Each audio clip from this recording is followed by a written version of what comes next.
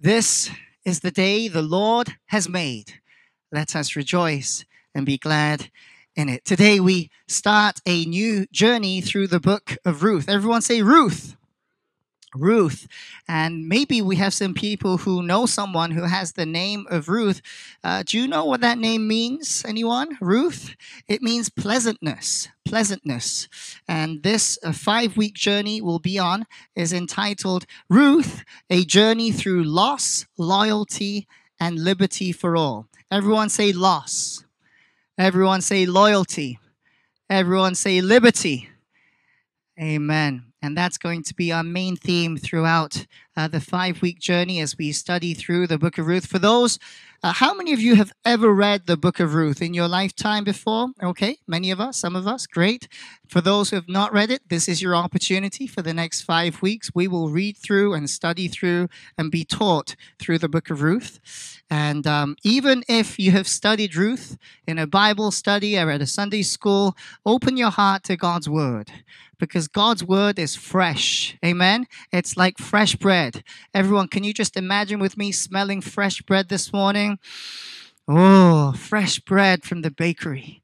And that's how the Word of God is not only the Logos, Word of God, but when the Spirit of God breathes life into the Word of God, it becomes the Rhema, living Word of God. Everyone say Rhema the living word of God that speaks to our hearts, that gives us guidance, that gives us hope and encouragement.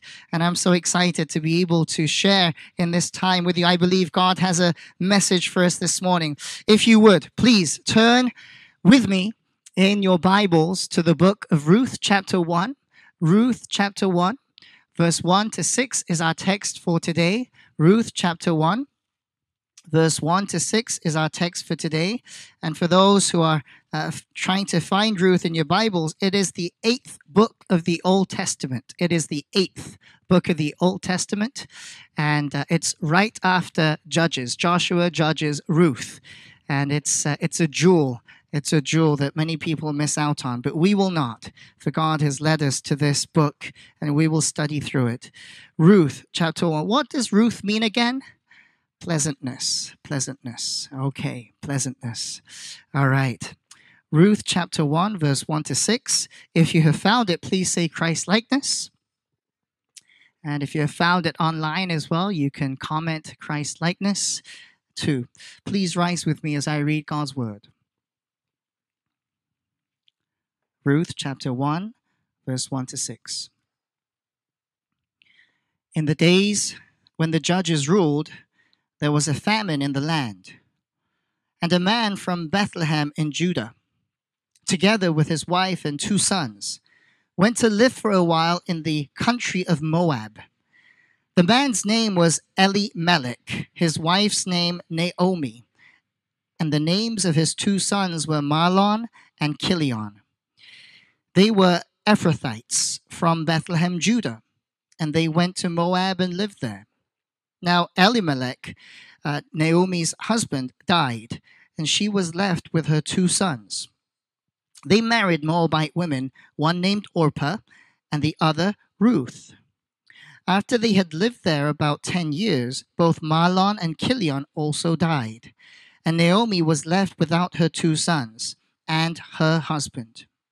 When she heard in Moab, Moab that the Lord had come to the aid of his people by providing food for them, Naomi and her daughters in law prepared to return home from there. This is the word of the Lord. Thanks be to God. You may take a seat. Father God, I come before you in the mighty name of Jesus, asking your Holy Spirit to illuminate our hearts so that we may come under your word. We submit to the authority of your word. Holy Spirit, grant us, illuminate our hearts, grant us understanding. Help us to receive the message you have for us. We honor you, even through loss, even through grief, even through suffering, for we believe that God, you are working all around. And it's in the name of Jesus we pray these things. Amen. Amen. Ruth means pleasantness. That's the meaning of her name. And Uh, we will read through the book of Ruth in the next uh, five weeks. And today is going to be uh, a kind of a, an introduction, a background, uh, but also uh, there is a, a message for all of us. Today's message is entitled, Listen When God Seems Silent. Can you say that to your neighbor? Listen when God seems silent. And if you're taking notes, you can write that down as the title of today's message Listen when God seems silent. I've mentioned that the book of Ruth is the eighth book of the Holy Bible. There are 66 books that consist of the Holy Bible. It's the eighth book of the Old Testament. And uh, Ruth is a very short book. And I would encourage you, perhaps you can read Ruth from chapter 1 to chapter 4 every day in your devotionals this week, and maybe for the next uh, five weeks. Read through Ruth. Let the Holy Spirit teach you through the book of Ruth. It's four chapters, but if you count the verses, it's 85 verses in one book. 85 verses in one book. So if you want to be really proud and say, Pastor, I read a book of the Bible, Ruth would be a good selection. 85 verses, and you've completed the whole book. The 85 verses also consist of 45 conversations between people. And so today I want to set the stage up for who the main characters are for the book of Ruth. The main characters are three people. Uh, can you say with me, Ruth? Can you say with me, Naomi? Can you say with me, Boaz? Uh, Ruth and, and Naomi uh, are both uh, widows, and Boaz is a farmer. Some of you may think, well, God only uses people like Moses and, and Joseph and, and David and Samuel and Paul and Peter and James. But did you know that all of these people that I've just mentioned, including Ruth, Naomi, and Boaz, were normal people like you and me? Normal people like you and me. They didn't have any like extra hands or extra wings or extra legs that made them any more special than we are, just like you and me. They were people, humans living on this earth, but gripped by the power of the Holy Spirit. And that's why we want to learn from these people. Ruth is is just a, a person who's actually not even an Israelite. She is a Gentile. She comes from the country of Moab. Perhaps you feel like an outsider too. Perhaps you're, an, you're a foreigner in this land. Maybe you've visited other countries and you've noticed how it feels so different to live in a country that uses a different language, that, that has different kinds of culture, the people look different than you. By God's grace, the United States of America is, is a very interesting one where we we invite people from all over the world to, to make their living here, and God has blessed this land. Amen. And we want God to bless America. That's what I'm praying for. We need to be praying for the leadership of this nation so that this nation will serve God and honor God and glorify his name. So the stage is like this. We have three main characters Ruth, Naomi, and Boaz. Uh, Naomi, her, her name. Uh, her name means means this. Uh, excuse me. I, I need to back up a little bit. I'm getting too ahead of myself, okay? Uh, Naomi, her name means pleasantness. Everyone say pleasantness. Yeah, even as I was saying it, I'm like, there's something not right. Ruth means friendship and companion. Okay, Ruth is friendship and companion. Naomi means pleasantness. Uh, Boaz, his name means uh, in him there is strength. So, so there are three main characters. So let me uh, summarize it again for you. Uh, Naomi, her name means pleasantness. Ruth means friendship and companion. And Boaz, in him there is strength. In him there is strength but there are also other characters. So I'm just going to run run through uh, the first couple of verses with you uh, in story form because Ruth is indeed a story, a short story. Uh, let me run through it for you. So Elimelech is the husband of Naomi. And Elimelech means my God is king. So Elimelech and Naomi, they're a couple, they are married, and they have two children. They have two sons, and the two sons are Mahlon and Chilion. Okay? Mahlon and Chilion. There is a famine where they live in Bethlehem. And Bethlehem in in in Hebrew, uh, it's two words put together. It's Beit and Lechem together. Beit Lechem. Beit means house in Hebrew, and Lechem means bread. So Bethlehem means the house of bread. But don't you find it interesting that the Bible records that in Bethlehem there was a famine? So, in other words, in the house of bread there was no bread. In the house of bread, there was no bread. There was a famine in that land. And so Elimelech and Naomi and her two sons decide to go to a country where there is food, into a country called Moab. It's about a week's journey from Bethlehem, and they walk, it's about a hundred miles approximately, and they, they journey on, onto this land, and they become uh, actually like immigrants. They move to a new location. I, I see a, a very interesting point here that Bethlehem, the house of bread, is going through a famine. Sometimes I observe what's going on around me, and even the churches around us. Uh, some of them have uh, gone away from the gospel, from preaching God's word. And so if you're gathered as a church and if you don't preach the word of God, I believe that is Bethlehem in famine, which is the house of bread with no bread, right? The house of bread with no bread means that you are not preaching from the word of God. You are not learning from the truth of God's word. You can learn many good things, many good ideologies and many isms. But at the end of the day, what will last is the word of God. Heaven and earth will fade away, but the word of God will last forever. Amen.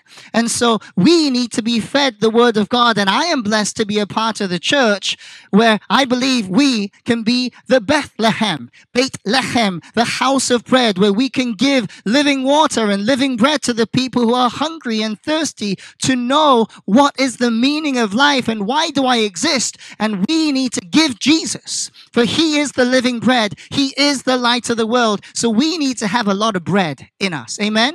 That doesn't mean overeat bread and overeat food. It means you need to overeat the word of God. You need to feast on the word of God, eat the meat of God's word, and you need to dig deep. And I'm so glad that there are couples in our church family that are reading the Bible together and praying together. God bless you, Chris and Joe. I hope you're watching today. They are reading and they are reading two chapters a day. And I would encourage any couple to read the Bible together and pray, any family to do that. There was no bread in the house of bread, Bethlehem. I connect that to the lack of the presence of the Holy Spirit in this day and age. The lack of the Holy Spirit. A.W. Tozer says this We don't welcome the Holy Spirit. Uh, let me quote him. Uh, A.W. Tozer says this If the Holy Spirit was withdrawn from the church today, 95% of what we do would go on and no one would know the difference. If the Holy Spirit had been withdrawn from the New Testament church, 95% of what they did would stop and everybody would know the difference. Do you see what A.W. Tozer is saying prophetically? That without the presence of the Holy Spirit, we will not prosper. We could kid ourselves and continue to live a life of religiosity but we need his presence, his power. And that's why we as a church family, we welcome the presence of God, the presence of the Holy Spirit to lead us and to guide us. My prayer for you and for me today is that we would be found not lacking with the life of Jesus Christ in our hearts and in our gatherings. I don't know what the main theme of conversations are between you and your neighbors and your family members. What do you talk about most? Do you talk about Corona?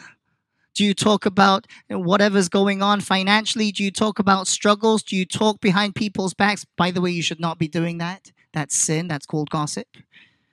Do you, what do you talk about? How about we talked more about the Word of God and talked about Jesus and we said, How has Jesus changed your life? And as we converse and as we lean into the Word of God, God will prosper us in our inner beings and that will show on the outside. The church has has done something very very dangerous where when people come to jesus and, and, sometimes we preach a gospel and make it so easy for them we call that the truncated gospel. You cut the top off you cut the bottom off you only give them what they want to hear and they come to jesus and you say wow that's great. Our church is growing our church is growing. And, and then you have people that continue to live a life that is not transformed by Jesus Christ, but they continue to live with the same habits. It's as if they serve two gods, they have two masters. No wonder the church of Jesus Christ has weakened and people don't believe what we say because they know we don't mean what we say because we don't live out what we believe.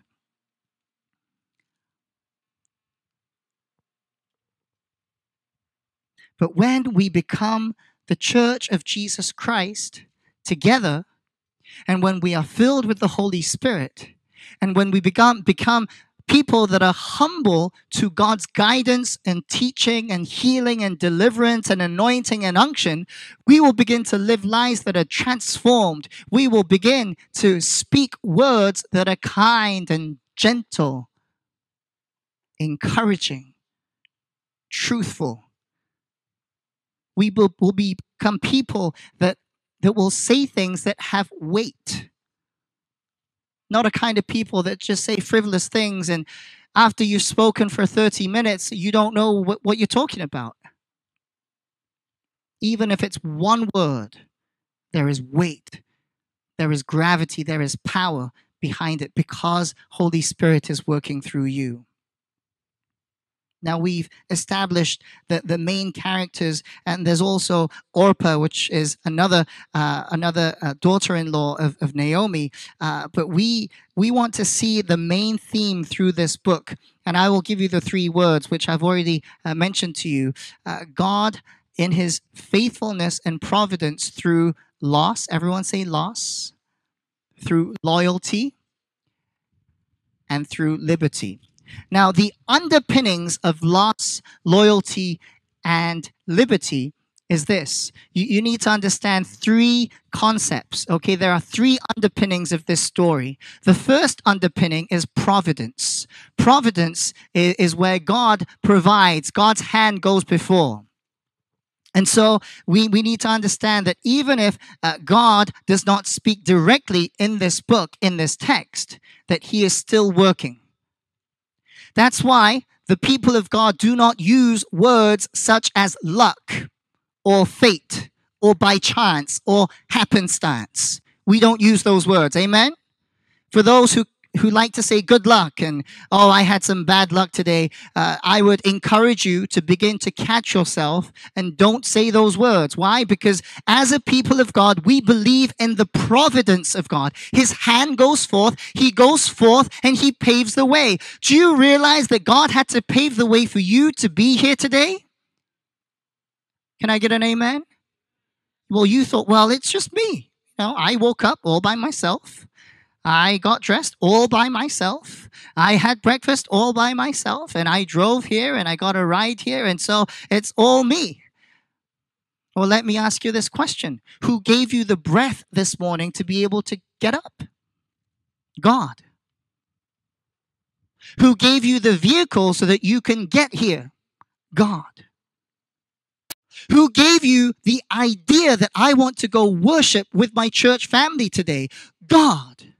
And therefore, as believers in Jesus Christ, our language has to change. Like Alan was mentioning, our language, spirituality, we don't use words as luck. Oh, I had bad luck today. Really? Perhaps God put that in your way so that you would avoid an accident. Oh my goodness, I was on 128 and it was just so crowded and uh, I, I just hated it. I just had bad luck. Perhaps God knew that there was going to be an accident right in front of you. So he wanted to give you a detour around so you may have safe passage. Amen?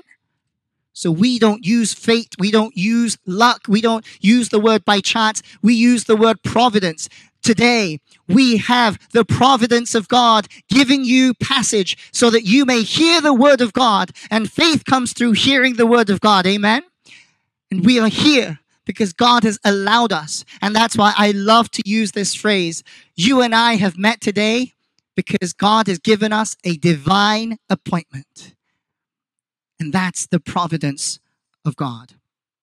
Another underpinning that I want you to know, and it only comes three times throughout the book of Ruth in the 85 verses, is the word chesed. Everyone say chesed. I'm teaching you a lot of words today, and I, I don't expect you to remember all of them, but I would like you to write them down so that you can remember. This is the loving kindness of our God.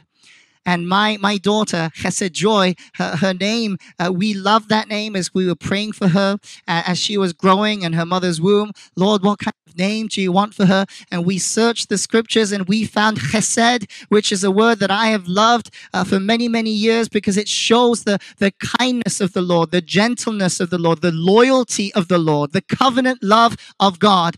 It really cannot be explained in English. You just have to say Chesed, Chesed, Chesed the love of God. And we actually added uh, another English word to her first name, chesed, joy. So uh, we, we want her to live in the joy of the Lord, and the joy of the Lord will be her strength.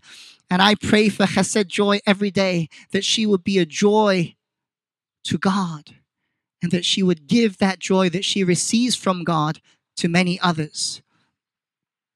And the last word I want you to remember, which is the underpinning of the book of Ruth, is blessing blessing. We've been talking about blessing a lot in the past couple of weeks. God wants to bless you. Amen. It's not in the realm of your idea of blessing. You think, well, God can bless me um, just with money, a promotion, whatever health. My kids go to a good school. My kids get good grades. Uh, that's that's a very fractional uh, portion of blessing the main blessing God wants to give us is salvation. Everyone say salvation. He wants to give us new life, eternal life. Do you know that this world that we're living in right now is not our home? Do you realize that?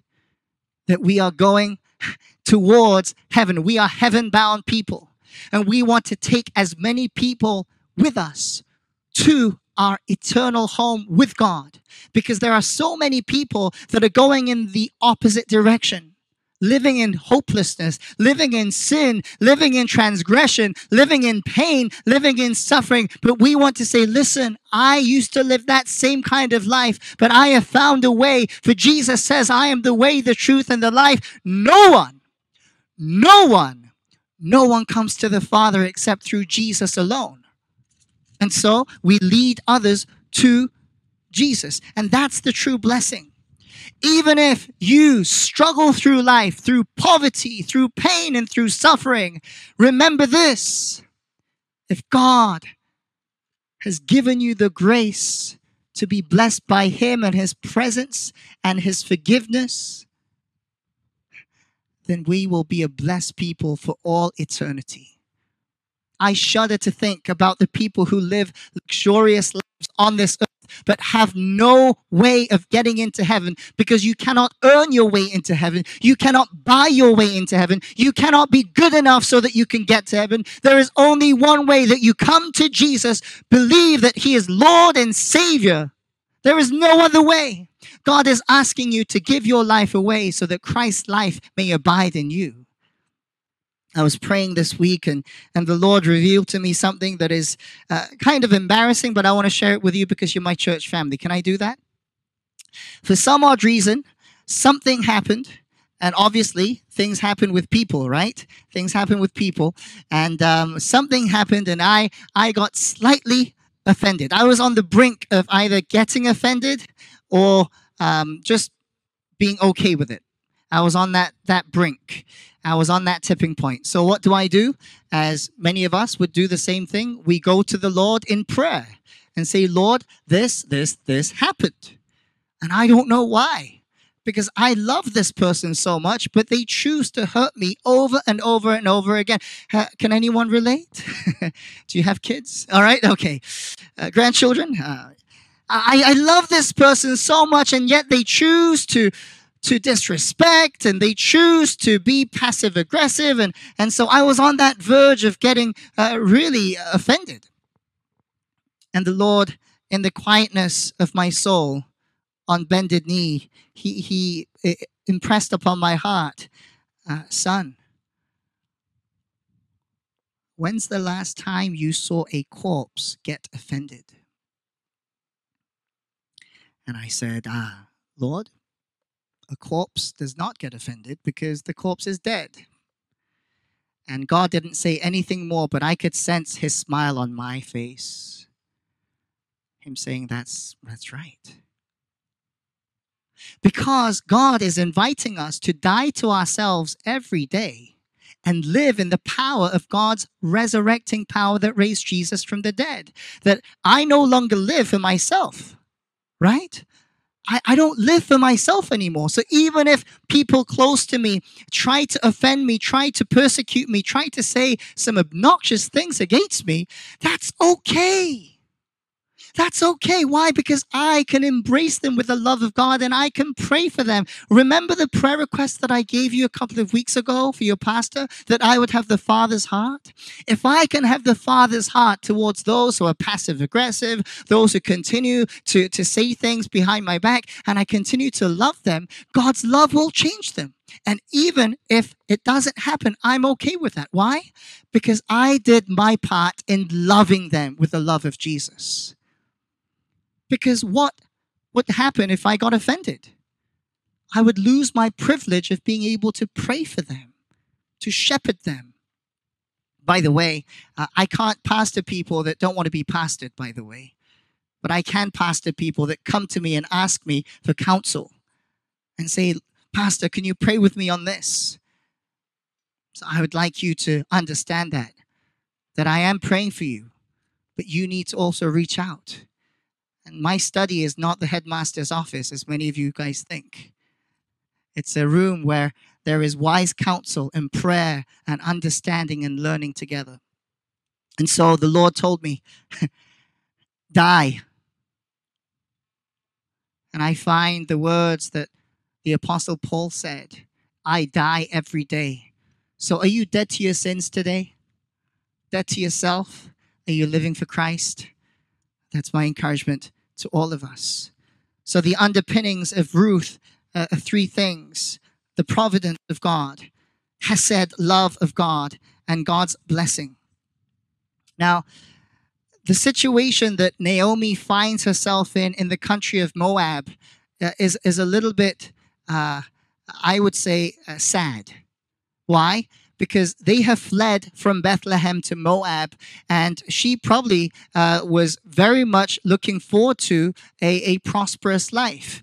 But she finds her husband, Elimelech, dies. So now she becomes a widow. Her two sons marry uh, Moabite women, Ruth and Orpah, but in the end, these two sons also die. Let's stop for a moment and grieve with Naomi. Naomi's name means pleasantness. There is nothing pleasant about her situation, is there? She finds herself without any husband, no husband, sons who could help her. And by the way, uh, widows back in those times and, and even today, uh, they are people that had no help no security, no stability, because the man of the house would go out and earn a living and, and whatnot and protect them. And, and even sons to carry on the, the lineage uh, of the family name. So she lost her husband, lost two sons, and she's left with two daughters in law who are also now widows. So she's sitting in her grief. She's sitting in loss. She's sitting in, in a place of uh, real um, discouragement.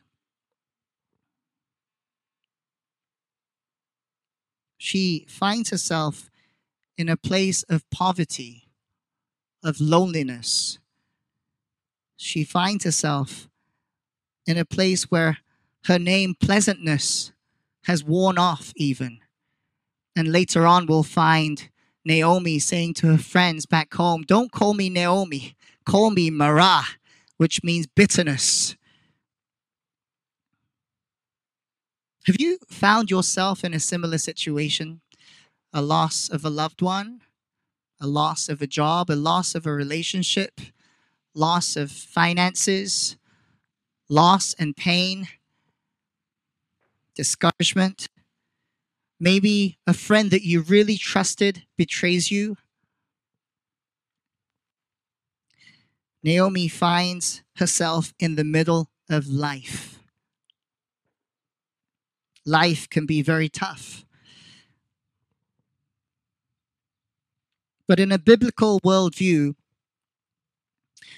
Naomi, her life portrays any person living on this planet. Let me say that again. Naomi's life and her situation right now in Ruth chapter 1, from verse 1 to verse 6, is a story that many of us can relate to. Why? Because life is hard. Life throws us things that we did not expect. A sudden loss of a loved one, a sudden loss of a job, a sudden loss of relationships, a sudden loss of a nation. I, I come from South Korea, and, and my country um, has, has faced a loss of its own autonomy through many other uh, forces coming into our country and invading us. Can you even imagine? The United States of America being invaded by foreign forces, and they say you can't use English anymore. You can't use Spanish anymore. You have to use a new language. And it's an alien language. You can't use your names anymore. You can't be Alan. You can't be Jonelle. You have to have a different alien name. Can you imagine? You can't have the same laws anymore. You can't have the same liberty anymore. Can you even imagine that happening? You can't. But life would have it that there are people on this planet that live life in loss, destitution, people fleeing from their own nation because there is not only poverty, but fighting and wars going on.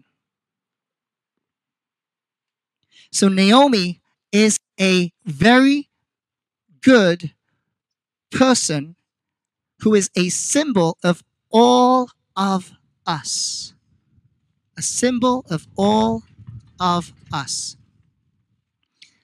Thank you, Holy Spirit, for your fresh wind. We pray that we would hold on to you through this, God. Naomi is a symbol of all of us walking on this planet. But there is something very important that we cannot miss or gloss over, and that is this God, in his providence, provides for Naomi a blessed companion.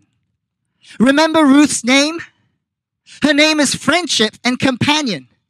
See, there were two daughters in law, one Orpah one Ruth, and Naomi says, You all go back home. But Ruth stays with Naomi. Your God will be my God, and I will follow you as long as as my god lives your god will be my god and i will follow you and this companion does not leave naomi and i see the providence of god through naomi through ruth becoming a companion to Naomi. Do you have that blessed companion in your life? And, and listen to me. Ruth, her, her name is companion, but do you know that Ruth is the ancestor of David? Do you know that David, the king of Israel, the king, the greatest king that Israel ever knew, that Ruth is the great grandmother of David, and that through the lineage of Ruth and Boaz comes Jesus Christ the Messiah?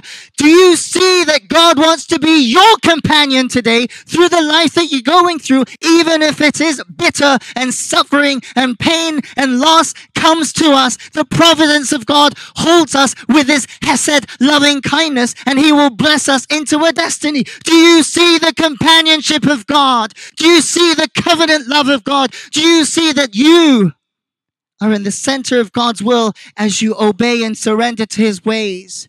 Just like for Naomi, there was Ruth, and for us, we have Jesus. Amen. Do you have Jesus in your heart? Do you love him? Do you obey him? Because Jesus is our blessed companion. So I see that Ruth becomes a person that symbolizes the companionship of God's covenantal love. a love that will never forsake us nor leave us, a love that is true and pure, a love that is not in it to get something out of me, but a love that wants to thrust me into Christ likeness, a love that wants to help me towards becoming a better version of me to the original design because I believe I am created and you are created in God's image. But sin came in the way. Sin came in the way, so Jesus had to come and to wash our sins away by his death on the cross and by his resurrection. We live a new life. We have become a new creation. Hallelujah! And that's why I no, lo- no longer live for myself, but I live for the message and the beauty and for the glory of God. Are you encountering that God every day of your life?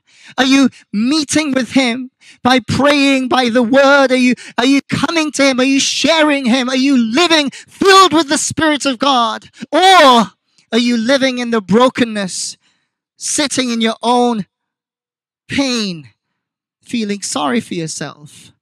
Brothers and sisters, let me tell you, just as Ruth became the companion for Naomi, Jesus wants to become a companion and friend to you. He wants to be the Lord of your life, the master of your life to help you along. And Jesus has sent us the advocate, the Holy Spirit, that we do not walk through life alone. Yes, we might have trouble. Correction. We will have trouble. Jesus said it. In this world, you will have trouble. But take heart, Jesus says, for I have overcome the world. Jesus said on the cross, it is finished. So no matter the pain, no matter the loss, no matter the, dis- the disappointment, Jesus wants to pour out his love and kindness and gentleness on your heart so that you may see God for who he is you might think, well, it's because of my lack of faith that not this isn't happening, that's not happening. Well, maybe there's some truth to that because somehow we have developed a mindset in our own churches that every time you pray, it must happen. God, help me to win the lottery, and then you win the lottery. You know, you, you think that's a blessing from God. I'm of the persuasion that God would not answer that prayer for you because you do not know how to handle $10. So, how would you handle $10 million? You don't know how to tithe from the $10 check that you give. You don't know how to be generous to God. So, why would God give you $100? Jesus says, Be faithful with little, and I will give you much. The blessings of God are not determined by how comfortable you are. Can I say that again? The blessings of God are not defined by how comfortable and how luxuriously you live. The blessings of God is that He is with us through thick and through thin, day in and day out. 24 7, 365, that God is Emmanuel, God with us. Jesus, his name is Emmanuel out of many. God with us, that he is for us, that he is with us, that he guides us. And by the way, Jesus is coming back soon. So if you're investing on this earth and not investing in heaven, your reward in heaven will not be a mansion. People have said, well, if we get to heaven, we're all going to live in mansions, right? No, you won't you'll be rewarded to what you have done and sold in the kingdom of God. That's why I love Alan's testimony that he attended a church for 10, 15 years, but he didn't give a dime. Nobody taught him how to tithe. Nobody challenged him that money cannot become our God. But by the grace of God, God softened Alan's heart. And I'm not preaching this to you so that you give more because God doesn't need your money. God wants your heart. But why we give is in, in response to the grace and loving kindness we have received. So again, remember this point. Life is going to be hard. Don't blame God for it. He will make things right in due time. Amen. I read in Genesis 50, verse 20, that Joseph says this, and I'm paraphrasing. The evil one meant this for evil, but God had, has turned this around so that there'll be the saving of many lives. That's the kind of God I serve. What kind of God do you serve? And if your prayers are only for yourself and your children, bless my business, bless my job, just bless me, and if your prayer is only for your own church, then you are limiting God's power. We need to be praying for the nations. We need to be praying for Afghanistan. We need to be praying for the Middle East, for China, and for North Korea that, that the Lord will uphold the church of Jesus Christ and give courage to those who are being persecuted right now for the name of Jesus.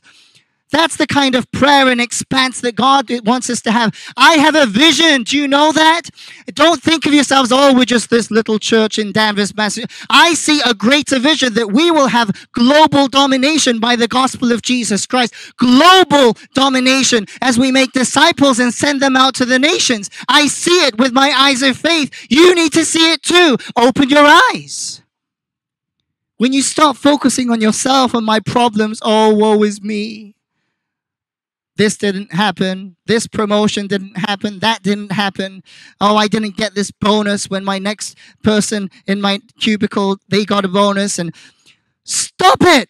I, I give you the best counseling, by the way. Just stop sinning.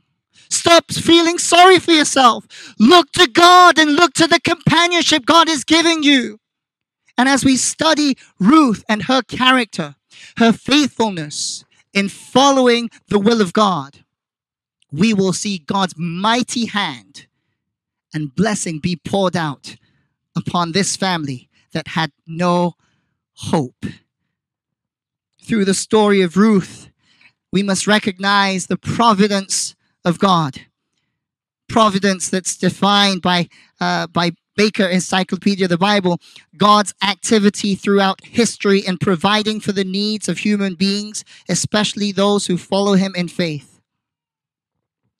Do you know that God is the one who gives you the air to breathe and gives you food to eat and has given you your jobs, your livelihood, your health, you know, your ideas, your intellect, your logic, everything. God has given you those things.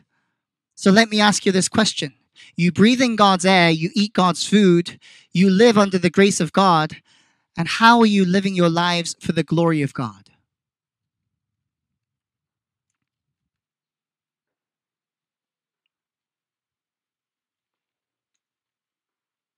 You receive all the blessings and the benefits of the kindness and the love of God. How are you using that for God's glory and fame?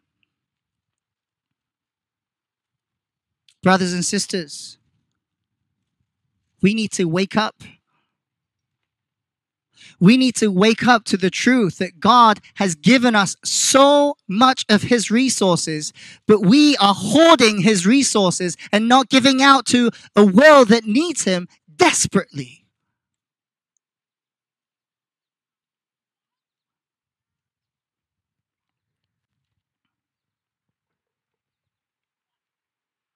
We cannot, we cannot forget the providence of God in our lives. His provision, His guidance. The word providence and the word provision uh, comes uh, from Genesis, uh, where uh, Abraham is is uh, commanded by God to sacrifice his son Isaac. But at that moment of him getting that knife to kill and slaughter his son, God says, stop. And he sees a ram in, uh, caught uh, in the thicket, and, and he says, Jehovah Jireh, God my provider.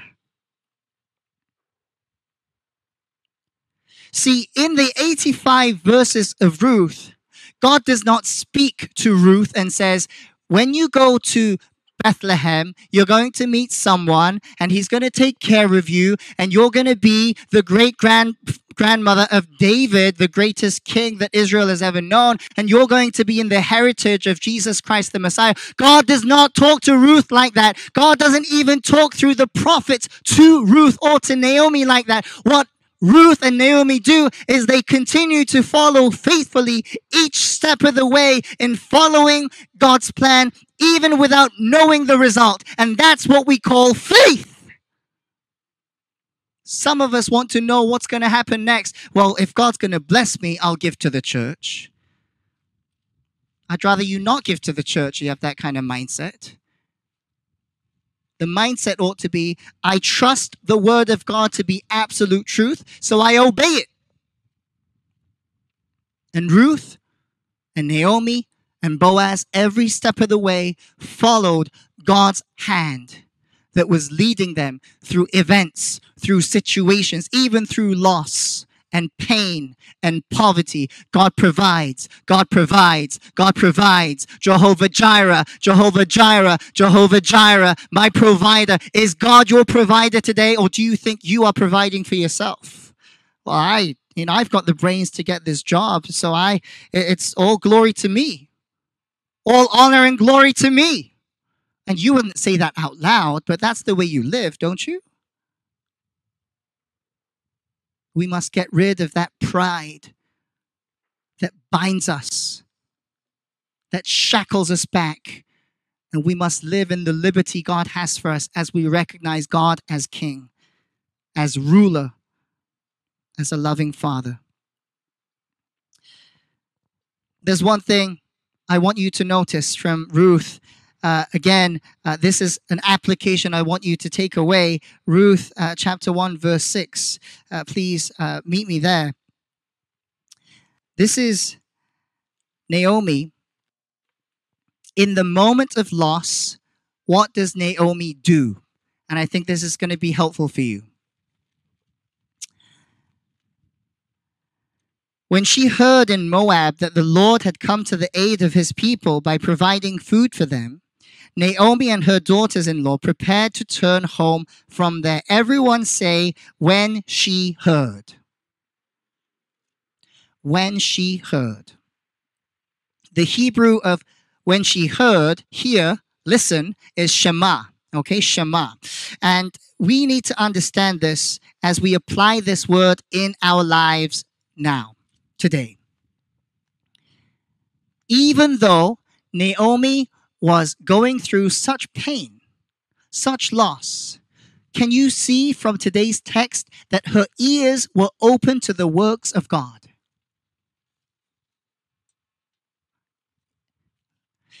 Can you see that even through pain and suffering and poverty, Naomi's ears are still open to God stories, to the works of God, of what God is doing in the midst. For she heard that God had come to the aid of the people in her homeland. And from that place of hearing God, why? Because faith comes through hearing the word of God, and because the, God's sheep knows the shepherd's voice in John 10, Naomi's ears were open to the frequency of what God is doing. And God is working all around us. We just sang it today. Even though I don't see it, He's still working. Even though I don't feel it, He's still working. So, Naomi, in the place of brokenness, maybe in tears, maybe in grief, yes, okay, we can understand that. Absolutely. Those are legitimate emotions. But even in that place of brokenness, our ears have, to be attentive to what God is doing. What God is doing, what God is doing, what God has done. Do you know that there is a massive revival happening all across Africa right now? You don't hear that on the news though. But there are people coming to Jesus being filled with the Holy Ghost, and there are churches being planted all over Bangladesh. The last time I heard, even through our own denomination, 3,000 churches being birthed in, in the country of Bangladesh. Hallelujah! You got to hear what God is doing. And from that place of hearing God, that's when we move. See, Naomi and her daughters in law prepare themselves to move. I wonder if you're making decisions in your life, very important ones. Don't move until you hear from God. That's my recommendation. That's my encouragement to you. You're about to purchase something big. Don't move. Don't make that purchase until you hear from God, until God gives you peace and says, Absolutely, my daughter. Because there are many times we make decisions on our own. We jump into relationships that God did not approve of. And what do we find ourselves doing? Grieving, in pain, being abused. And I believe God can redeem all of that. But now you have heard the application from Naomi in the most deepest, darkest pit of destitution, of discouragement and discomfort. Her ears are still tuned in to the works of God. Are your ears tuned in to the works of God today? Or are you listening more to the news, the tabloids, the media? Listen.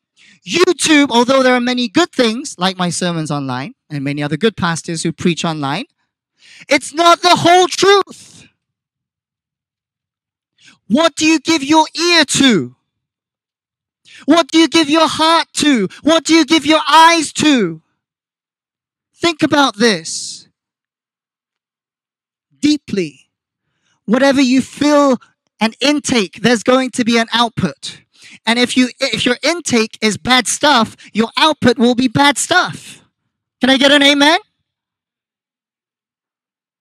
So we need to take in the good stuff, the organic gospel, Nothing more, nothing less, only the truth of God's word with the power of the Holy Spirit and let the word speak to us and you hear what God is doing throughout the ages. He has been faithful. He is our covenantal God. He loves us and he has a better, better way for us to go. He wants to revive us. He wants to restore us. He wants to redeem us. He wants to release us into a new destiny that we can be used for his kingdom glory.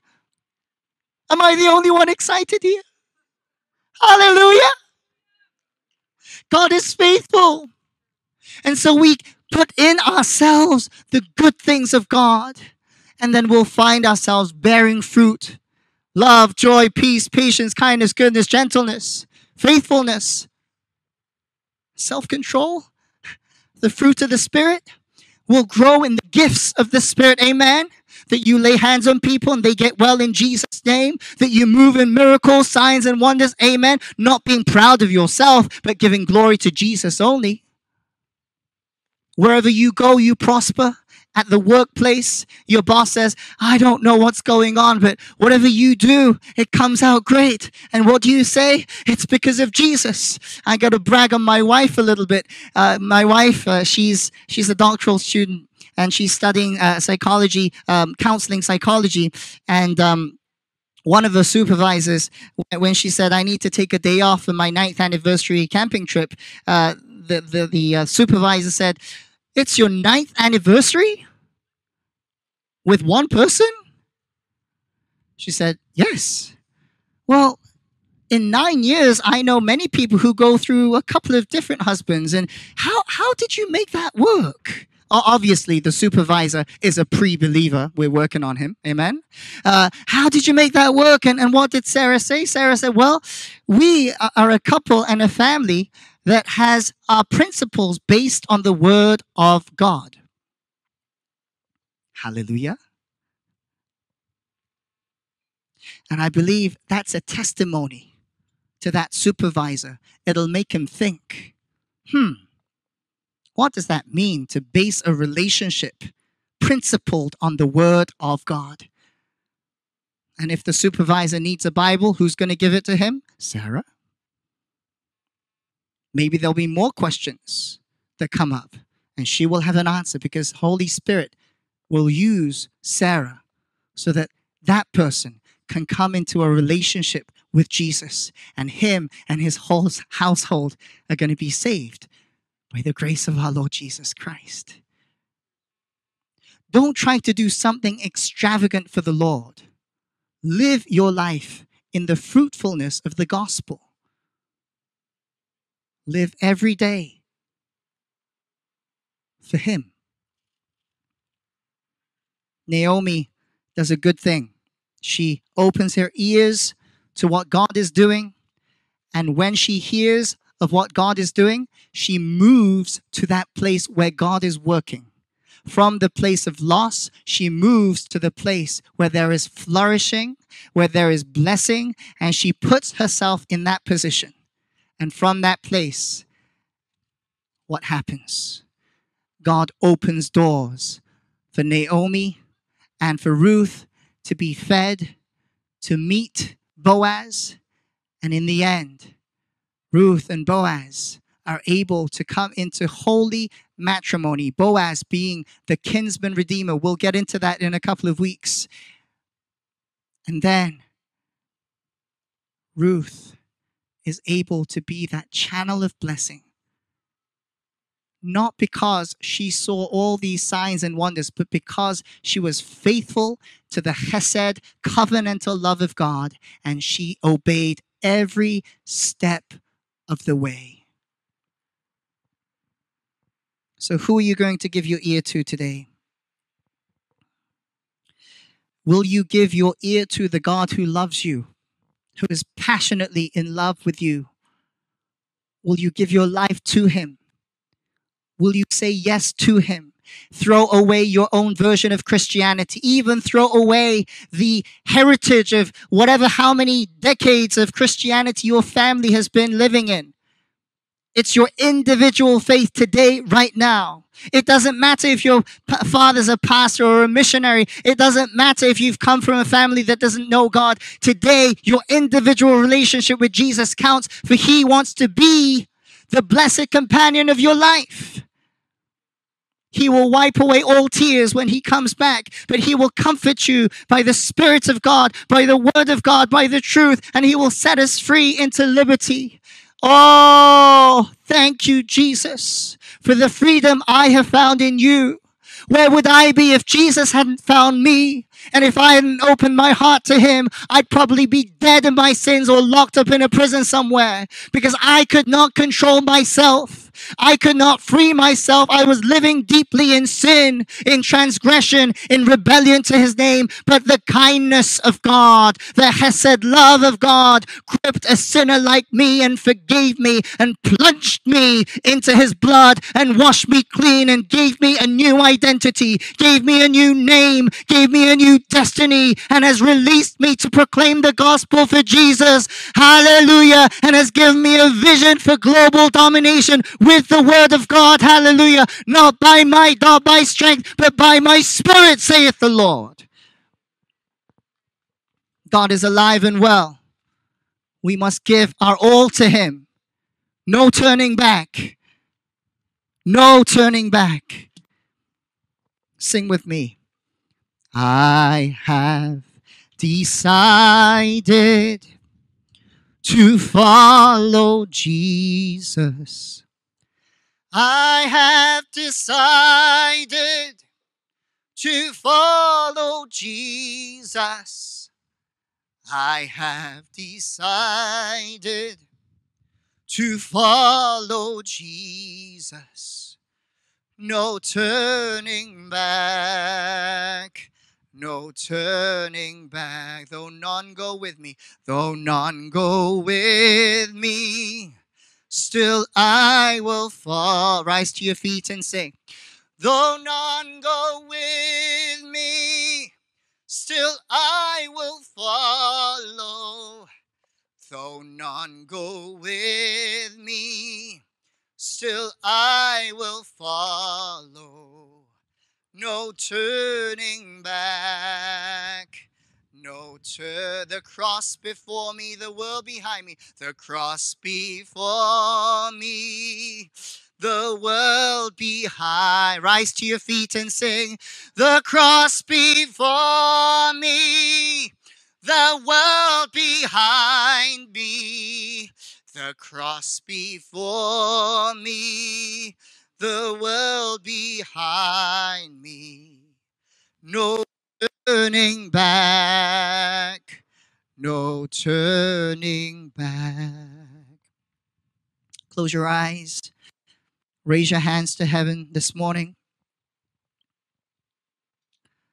Father God, we surrender to you all of our fears, all of our worries, all anxiety, for we believe in the providence of our God who goes before us, who is our front guard, who is our rear guard, who is the one who can open up the Red Sea so that the Israelites can walk through on dry land, the God who can open up the Jordan as they walk in faith every step of the way.